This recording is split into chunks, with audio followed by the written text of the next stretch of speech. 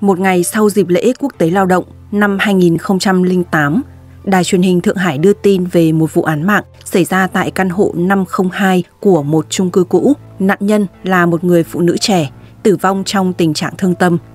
Vụ án được cảnh sát quận Kim Sơn thụ lý, theo đuổi trong suốt 12 năm mới có kết quả. Sau khi biết được sự thật về động cơ gây án, nhiều người không khỏi cảm thấy hối hận vì những suy nghĩ của mình trước đó.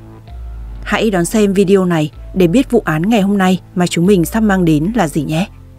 Xin chào, chào mừng các bạn đã đến với kênh Kỳ án Thế giới. Khoảng 9 giờ 30 sáng ngày 2 tháng 5 năm 2008, tại một siêu thị lớn tại quận Kim Sơn, Thượng Hải, đã vào ca hơn một tiếng nhưng nữ nhân viên thu ngân tên Tào Bội vẫn chưa đến.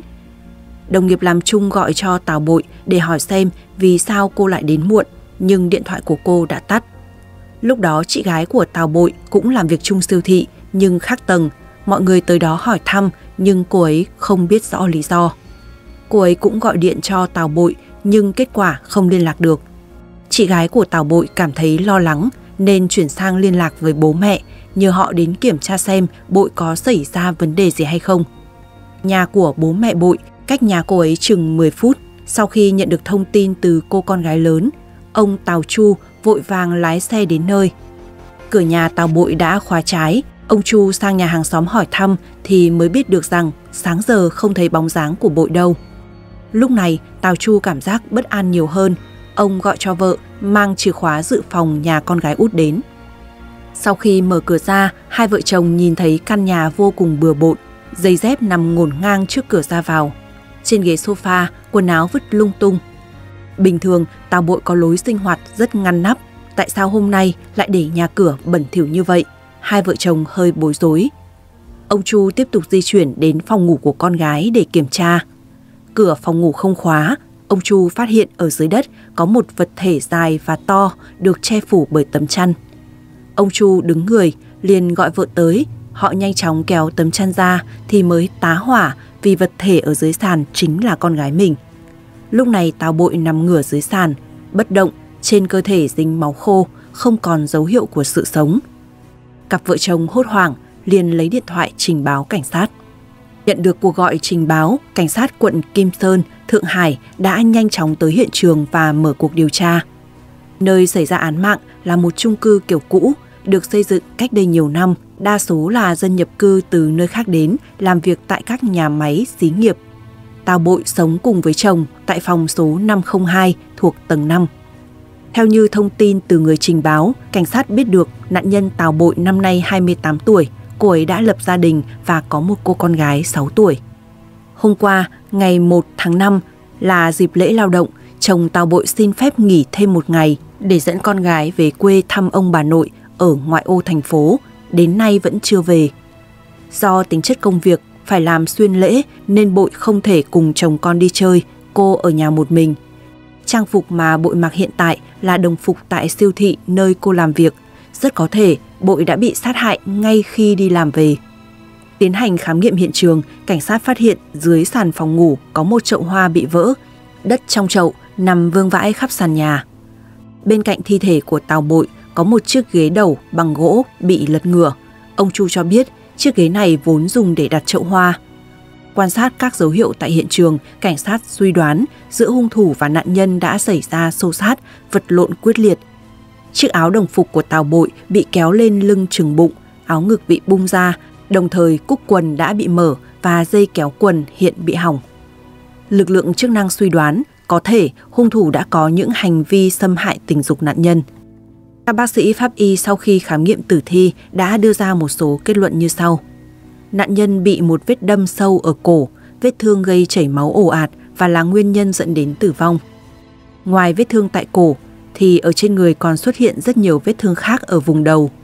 Pháp y nhận định có tổng cộng hai hung khí gây án, bao gồm dao nhọn và hung khí cùn.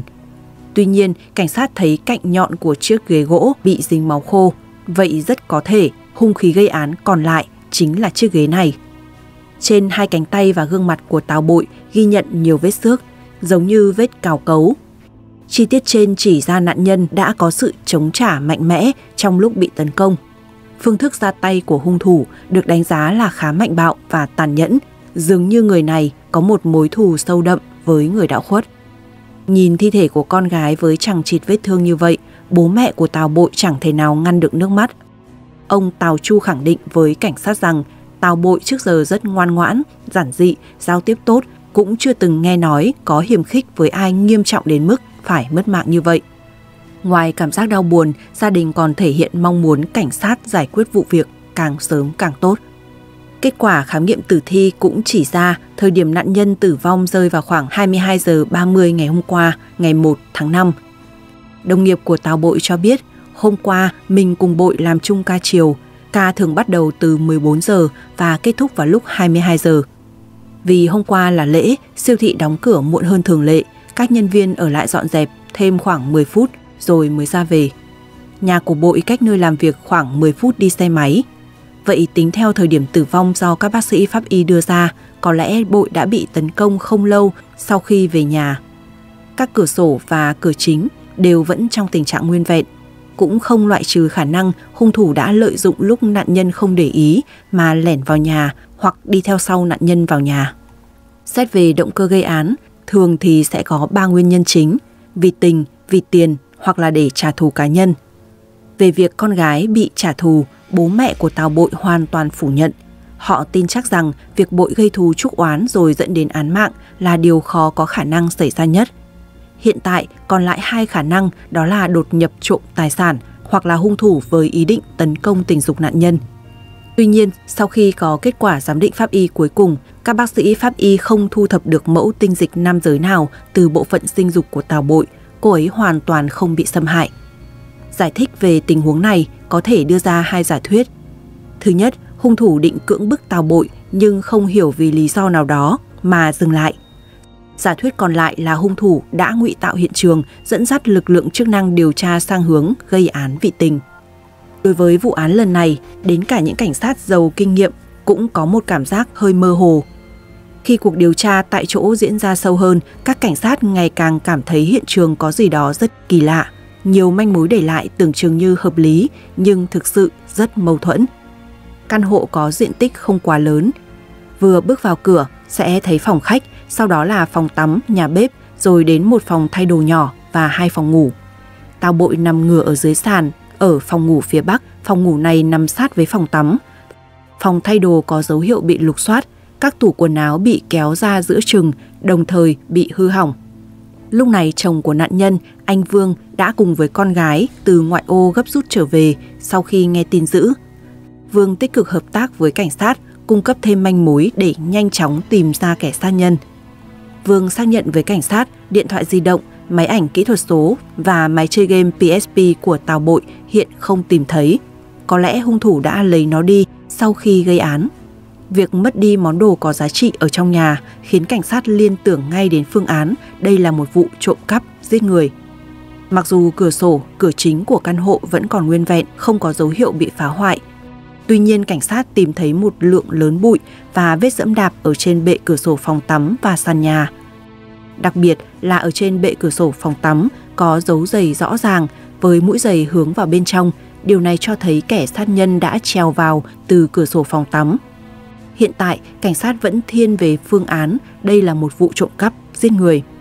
Cảnh sát bắt đầu đưa ra những phán đoán sơ bộ về vụ án.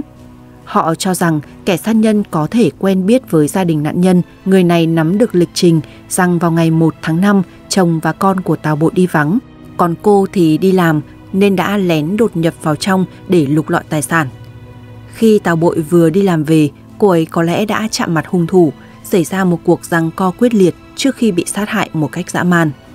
Đối với hung thủ leo trèo như vậy, cảnh sát tin rằng hung thủ phải là nam giới, có sức khỏe tốt. Cảnh sát cũng tìm thấy được một con dao nhọn dính máu ở trên mặt bếp nghi là công cụ phạm tội. Kẻ sát nhân vào nhà từ bệ cửa sổ phòng tắm, công cụ phạm tội được lấy tại nhà và nạn nhân không có kẻ thù. Nhiều yếu tố khác nhau dường như đã xác nhận nhận định của cảnh sát rằng thực sự động cơ chính là trộm cắp. Tuy nhiên, cảnh sát vẫn chưa thể đưa ra kết luận cuối cùng bởi vì họ nhanh chóng phát hiện ra những chi tiết khá bất thường. Tại hiện trường xuất hiện rất nhiều dấu vết lục lọi rõ ràng, toàn bộ phòng thay đồ đều ở trong tình trạng rất bừa bộn, thậm chí đồ đạc còn bị lôi ra và vứt ở nhiều vị trí. Các điều tra viên có kinh nghiệm đưa ra ý kiến rằng có vẻ như hung thủ đã cố tình làm xáo trộn mọi thứ. Ngoài ra, cảnh sát còn phát hiện một số trang sức vàng vương vãi ở trên giường ngủ của hai vợ chồng Tào Bội. Một số thành viên trong đội điều tra nhận thấy vụ án này không hề đơn giản. Nếu thực sự muốn kiếm tiền, kẻ sát nhân đã không bỏ sót những đồ trang sức bằng vàng sờ sờ trước mặt như vậy và nói chung sẽ không lục lọi phòng thay đồ bởi vì ở đây thường rất ít khi cất giữ thứ có giá trị. Dựa vào những yếu tố khả nghi trên, một số cảnh sát đưa ra suy đoán như sau. Hung thủ đã lục lọi phòng chứa đồ, có thể là để giả mạo hiện trường, động cơ phạm tội thật ra không phải là vì tiền mà là vì mục đích khác. Trong quá trình điều tra tại chỗ sau đó, cảnh sát còn phát hiện ra điều đáng ngờ hơn. Phòng ngủ nơi mà Tào Bội bị sát hại là hiện trường trọng tâm của vụ án. Cảnh sát cẩn thận kiểm tra, họ phát hiện ở trên sàn phòng ngủ có một số vết nước và dấu vết lau sàn bằng cây lau nhà. Ngày hôm qua, Tào Bội bận bịu công việc tại siêu thị và cô ấy về nhà rất muộn. Không lẽ vừa về tới nhà đã lao vào dọn dẹp, điều này không hợp lý cho lắm. Cảnh sát kết luận, sau khi hung thủ gây án xong, hung thủ không hề có dấu hiệu hoảng sợ mà thay vào đó là bình tĩnh dọn dẹp hiện trường.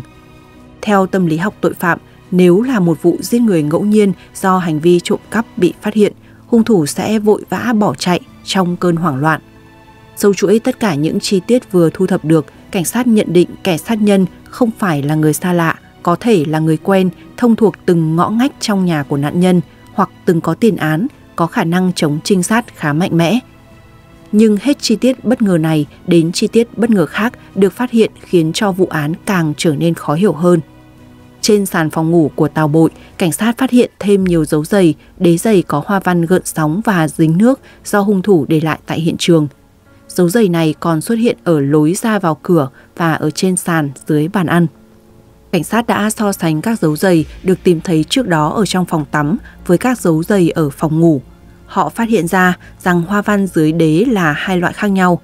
Một loại hình gợn sóng và một hình hộp kích thước cỡ giày cũng khác nhau – loại giày đế hộp dài 29cm, cỡ 44, trong khi giày có đế gợn sóng dài 31cm, cỡ 46.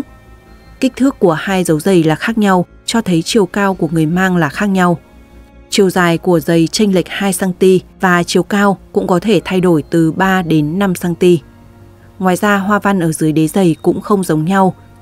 Từ những chi tiết nêu trên, phản ứng đầu tiên của cảnh sát là có thể có ít nhất hai nghi phạm tham gia gây án. Bây giờ vụ việc có vẻ phức tạp hơn. Sau khi phân tích hiện trường, lực lượng chức năng phát hiện ra rằng hai dấu giày lần lượt xuất hiện ở trong phòng ngủ của Tào Bội và phòng tắm nhưng không có bất kỳ điểm giao nhau nào. Nếu có hai kẻ sát nhân đột nhập vào nhà cùng lúc, tại sao dấu giày của một người chỉ xuất hiện ở trong phòng tắm, còn dấu giày của người kia chỉ xuất hiện trong phòng khách và phòng ngủ? Hiện trường có dấu vết xô sát, trong căn hộ nhỏ như vậy, hai người không thể nào đảm bảo rằng dấu giày của họ không dẫm đạp lên nhau. Sau cuộc thảo luận tại chỗ, cảnh sát suy đoán rất có thể hung thủ đã cố tình làm giả hiện trường để làm xáo trộn tình hình, đánh lạc hướng điều tra. Để tìm ra con đường mà kẻ sát nhân đã đi vào phòng, cảnh sát tiếp tục mở rộng phạm vi điều tra ra xung quanh. Nhà của Tào Bội nằm ở tầng 5, cách mặt đất hơn 10 mét, nếu không có công cụ hỗ trợ hoặc là được huấn luyện đặc biệt thì rất khó leo từ lầu 1 lên lầu 5. Ống dẫn nước và khí ga ở tầng ngoài không chịu được sức nặng của người trưởng thành. Cảnh sát nhận thấy phía dưới bệ cửa sổ bên ngoài phòng tắm có một gờ tường rộng khoảng 20cm bao quanh phòng tắm, nhà bếp và kéo dài xuống phía dưới cửa sổ cầu thang dẫn lên tầng 5. Diện tích gờ tường đủ rộng để dẫm hơn nửa bàn chân. Vậy liệu hung thủ có phải là di chuyển bằng đường này hay không. Và nếu đúng như vậy thì hung thủ sẽ phải đi ngang qua nhà bếp ở giữa và cửa sổ ở hành lang. Quả nhiên, cảnh sát tìm thấy một dấu giày hình hộp ở trên cửa sổ chống trộm của nhà bếp và trên bệ cửa sổ cầu thang dẫn lên tầng 5. Hoa văn và kích thước giống hệt với dấu giày được tìm thấy trong nhà.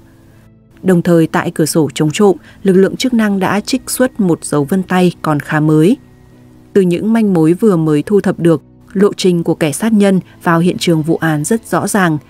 Cảnh sát cho rằng hắn đi từ bệ cửa sổ của hành lang dọc theo gờ tường đi ngang qua đoạn nhà bếp của bội rồi vào căn hộ qua cửa sổ phòng tắm.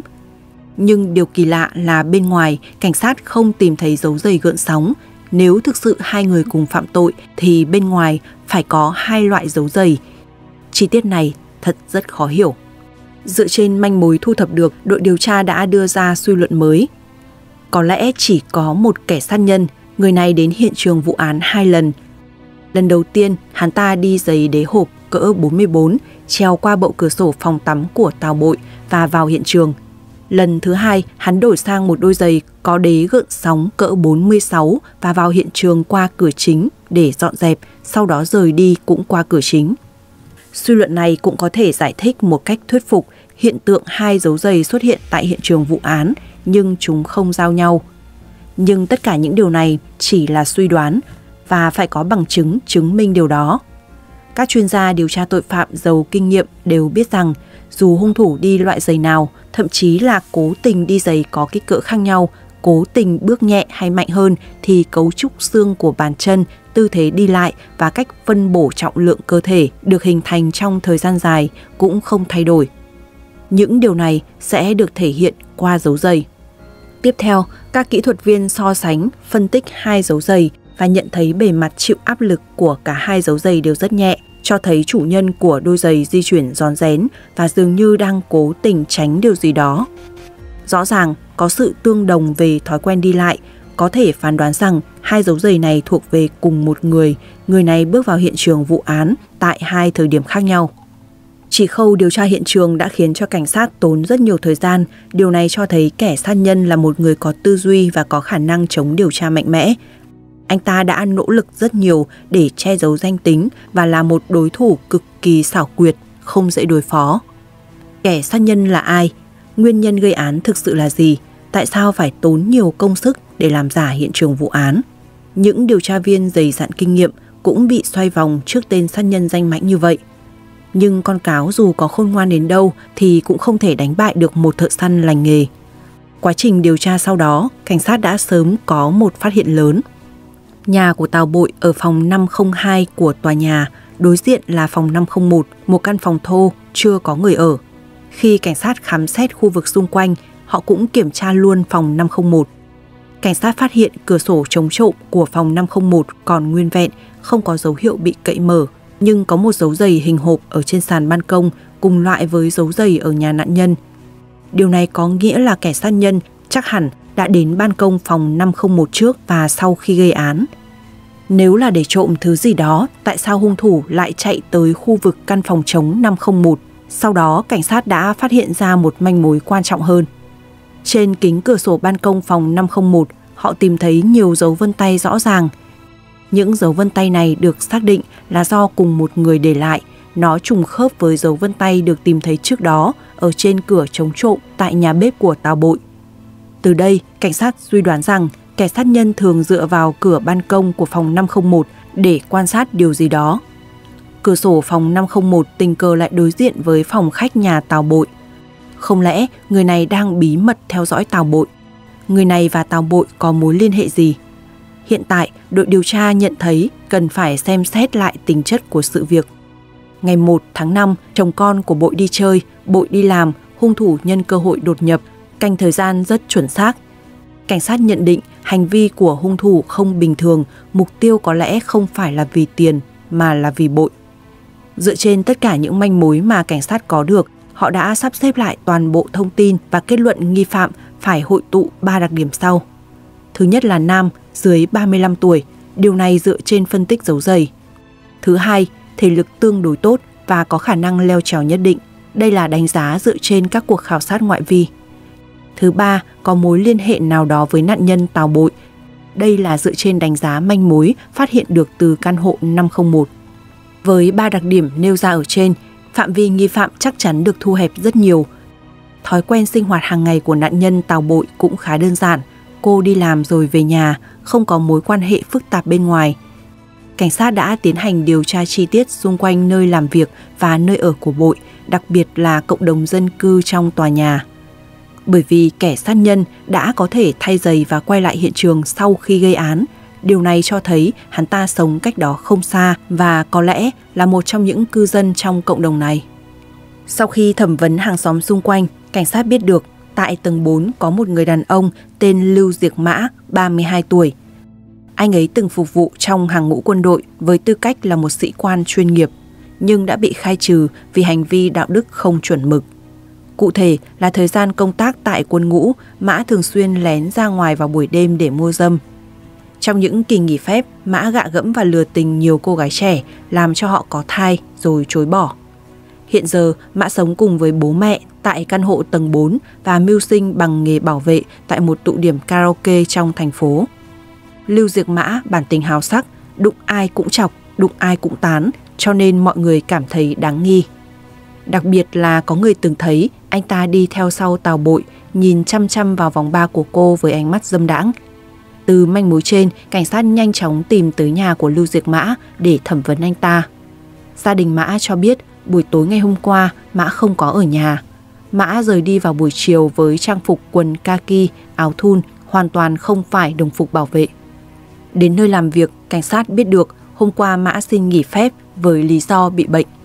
Trái với thông tin do người nhà cung cấp, họ khẳng định tình hình sức khỏe của Mã rất ổn định, hoàn toàn không có bất cứ biểu hiện mệt mỏi nào. Hành vi nói dối khiến cho cảnh sát bắt đầu nghi ngờ anh ta. Sau khi Lưu Diệc Mã được tìm thấy, Mã cảm thấy lúng túng như gà mắc tóc. Cuối cùng anh ta giải thích rằng chiều tối hôm qua mình giả bệnh để nghỉ làm, mục đích là để đi gặp người yêu. Mã kể, từ sau khi bị đuổi khỏi ngũ, anh ta không còn cảm thấy hứng thú gì với nữ giới mà chuyển sang thích con trai. Do bố mẹ Mã rất khắt khe và bảo thủ, anh ta chưa dám come out. Đó là lý do vì sao mới đầu khi nghe cảnh sát hỏi về lịch trình tối ngày hôm qua, Mã tỏ ra bối rối. Sau khi biết cảnh sát nghi ngờ mình là kẻ sát nhân thì tất nhiên Mã phải nói ra, chắc chắn là thà bị bố mẹ đánh vài trận còn hơn là bị nghi ngờ phạm tội như thế. Còn về hành vi nhìn trộm tàu bụi, Mã giải thích, ở chỗ làm của mình có thông báo tuyển một số nhân viên phục vụ với ngoại hình ưa nhìn, nếu ai giới thiệu được cô gái với tiêu chuẩn tốt làm việc tại quán karaoke thì sẽ được hoa hồng cao. Mã không muốn bỏ qua cơ hội kiếm tiền tốt nên đã tranh thủ tìm kiếm đối tượng. Tao bội xinh đẹp, có làn da trắng trẻo, vóc dáng chuẩn chỉnh nên anh ta để mắt tới. Mã đưa ra được bằng chứng rằng buổi tối ngày hôm qua anh ta cùng người yêu đi xem phim rồi qua đêm tại khách sạn. Sau khi xác minh được bằng chứng ngoại phạm, cảnh sát Kim Sơn đã loại Mã ra khỏi diện tình nghi. Trong quá trình điều tra sau đó, một người đàn ông đã thu hút sự chú ý của cảnh sát. Đó là Chu Vệ Phong, 26 tuổi, sống ở tầng 1 cùng tòa nhà với Bội. Sau khi vụ việc xảy ra, đã bỏ đi không rõ lý do. Cảnh sát đã hỏi người nhà của Phong, họ cũng rất ngạc nhiên trước sự bỏ đi đột ngột của anh. Cảm thấy tình tiết này hơi đáng nghi, cảnh sát ngay lập tức trích xuất dấu vết sinh học của Phong tại các vật dụng ở trong nhà. Kết quả nhanh chóng được đưa ra. Dấu vân tay của Phong quả thật trùng khớp với dấu vân tay thu thập được tại hiện trường vụ án. Khi thông tin về nghi phạm được lan truyền, tất cả mọi người đều vô cùng kinh ngạc, ngay cả người nhà của Tào Bội cũng không thể tin được. Tại sao Chu Vệ Phong lại làm như vậy? Chồng của Tào Bội khai với cảnh sát rằng mặc dù sống chung tòa nhà nhưng giữa hai vợ chồng họ và nghi phạm rất ít khi tiếp xúc, chứ đừng nói gì đến mâu thuẫn dẫn đến án mạng tàn khốc. Chu Vệ Phong đã kết hôn và có con 18 tháng tuổi, động cơ nào khiến cho anh ta hành động như vậy? Cảnh sát cũng như người thân của nạn nhân và nghi phạm đều cảm thấy lạ, nhưng Tào Bội đã mất, cách duy nhất để có được câu trả lời là nhanh chóng tìm ra Chu Vệ Phong lực lượng chức năng đã phối hợp cùng với cảnh sát giao thông tại địa phương và các quận lân cận. Nhưng dù có cố gắng răng lười đến mấy thì tung tích của nghi phạm vẫn còn là một ẩn số. Chu Vệ Phong có ý thức phản điều tra mạnh mẽ, sau khi bỏ chạy, anh ta thậm chí đã cắt đứt liên lạc với tất cả người thân và bạn bè. Cảnh sát Thượng Hải cũng đã trích xuất dấu vân tay và dữ liệu DNA của Chu Vệ Phong, nhập chúng vào hệ thống vân tay tội phạm quốc gia và cơ sở dữ liệu dân số, đồng thời cố gắng sử dụng công nghệ điều tra tội phạm tiên tiến để so sánh chúng trong cơ sở dữ liệu để tìm ra dấu vết của Chu Vệ Phong. Nhưng Chu Vệ Phong xảo quyệt không hề để lộ sơ hở nào. Một gia đình ba người hạnh phúc đã bị phá hủy theo cách này, nhưng kẻ sát nhân vẫn chưa bị đưa ra công lý. Mặc dù thời gian trôi qua đã lâu, nhưng gia đình nạn nhân vẫn không thể nguôi ngoai nỗi buồn. Điều khiến gia đình Tào Bội càng thêm xấu hổ là vì Chu Vệ Phong đã biến mất sau vụ án nên động cơ phạm tội của hắn không thể giải thích được. Về mối quan hệ giữa hai người đã xuất hiện nhiều lời bàn tán và tin đồn không hay. Mọi người đều đang suy đoán họ gian díu với nhau và Phong gây án vì tình. Tất cả những suy đoán của dư luận khiến cho chồng của Tào Bội phải chịu áp lực rất lớn. Kẻ sát nhân mãi không được đưa ra ánh sáng, cảnh sát Kim Sơn Thượng Hải cũng rất lo lắng để bắt được Chu Vệ Phong càng sớm càng tốt, đưa ra lời giải thích cho nạn nhân và gia đình anh ta, đồng thời ngăn chặn kẻ sát nhân tái phạm. Lực lượng chức năng không bao giờ từ bỏ việc truy đuổi. Thời gian trôi nhanh như bóng câu qua cửa sổ, thấm thoát đã 12 năm. Không chỉ chồng của Tào Bội mà con gái của cô ấy cũng bị điều tiếng. Người hàng xóm gần nhà cho rằng mẹ cô gái là người đàn bà chắc nết nên cấm không cho con trai mình có mối quan hệ yêu đương. Tuy nhiên có câu là công lý có thể đến muộn nhưng không bao giờ vắng mặt và trường hợp của vụ án Tào Bội cũng như vậy. Vào ngày 22 tháng 12 năm 2020, cảnh sát đã truy ra được nghi phạm hình sự Chu Vệ Phong đã xuất hiện tại thành phố Lục An, tỉnh An Huy.